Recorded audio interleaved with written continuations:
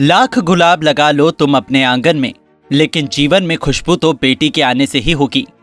जी हाँ ये लाइन सिर्फ़ किताबों और कहानियों में ही नहीं, जीवन के लिए भी उतनी ही महत्वपूर्ण है, जितना कि इंसान को जीने के लिए सांस लेना।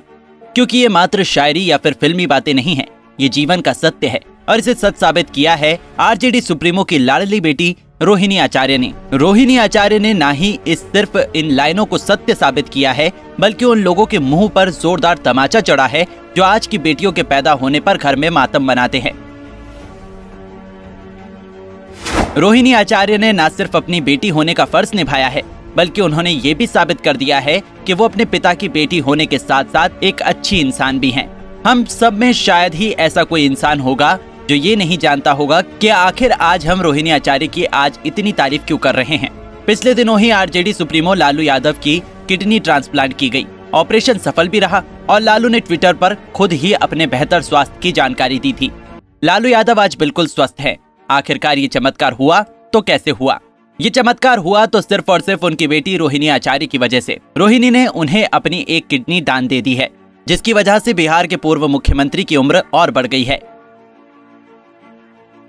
है ना हैरान करने वाली बात। आज के समाज में एक तरफ़ जहाँ परिवार और माँ बाप को लोग अहमियत नहीं देने के लिए भी विचार करते हैं, वैसे समाज में रोहिणी का बिना सोचे समझे अपने पिता के लिए अपने शरीर का एक अंग देना वाकई समाज के मुँह पर तमाचा है। जो लोग कहते हैं माँ बाप ने हमारे लिए किया ही क्या है, उन्हें रोहिणी से सीख लेना चाहिए। एक समृद्ध परिवार की बेटी होने के बाद भी रोहिणी ने अपने पिता के लिए अपनी परवाह नहीं की। रोहिणी आचार्य के पिता को किडनी देने की बात सोशल मीडिया पर जब से आई, तब से हर कोई रोहिणी जैसी बेटी पाने की दुआ मांगने लगा। रोहिणी, सोशल मीडिया पर खूब छाई, साथ ही साथ ये भी बातें हुई कि लालू बहुत ही खुशनसीब हैं, जो उनको रोहिणी जैसी बेटी मिली।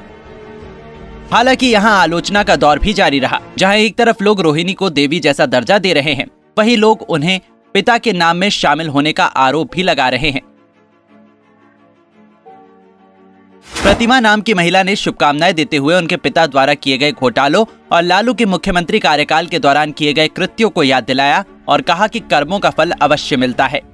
वहीं एक अन्य यूज़र राजीव ने ट्वीट किया आपका ये त्याग वास्तव में काबिले तारीफ़ है परंतु चूँकि मैं 1990-2005 वाले दौर में सांस लेने वाला एक हैशटैग बिहारी रहा हूँ, इसलिए ये बात कह रहा हूँ कि आपका ये कृत्य आपके पिता द्वारा किए गए पापों में से आपकी एक हिस्सेदारी को कम नहीं कर सकता।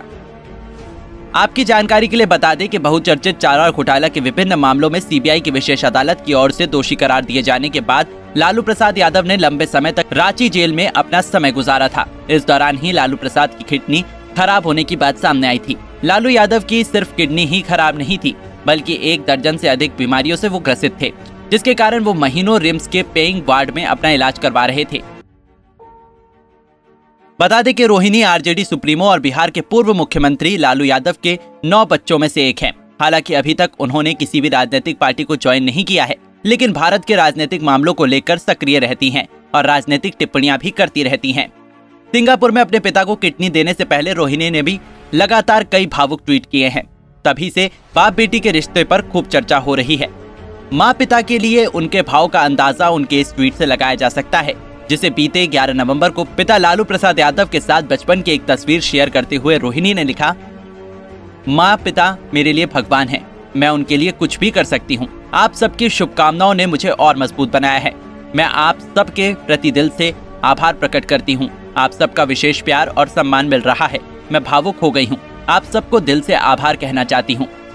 रोहिणी ही नहीं, हमारे देश में ऐसी बहुत सी महिलाएँ हैं, जिन्होंने हमेशा अपने माता पिता का नाम रोशन किया है। रोहिणी तो फ़िलहाल लालू की बेटी है, लेकिन कोरोना जैसी महामारी के दौरान बहू ने कोरोना पॉजिटिव ससुर को कंधों पर उठाकर अस्पताल पहुँचाया, ताकि उसके ससुर का इलाज सही समय पर हो सके। ये मिसाल कायम किया था असम के राहा के भाटी गाँव की निहारिका ने, जिसका पति सूरज शहर में नौकरी करता था। पति की गैर मौजूदगी में निहारिका ने अपने सास ससुर की देखभाल अपने माता पिता की तरह की। काफ़ी दिनों तक ये महिला भी सोशल मीडिया पर छाई रही, और हर कोई इसके जैसी बहू पाने की भी कामना कर रहा था। देश की ऐसी कई बेटियाँ हैं, जो अपने घर से बाहर निकलकर अपने माता पिता के साथ अपने घर को चलाने में उनका हाथ बटाती हैं। Bureau report, Times 24 news